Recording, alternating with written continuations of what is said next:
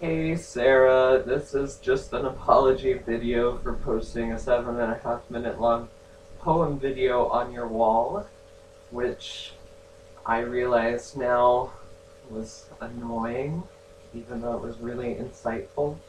And so yeah, I just wanted to say sorry because you're the bomb and our friendship is really explosive, so you know, just throw your hands up in the air yo.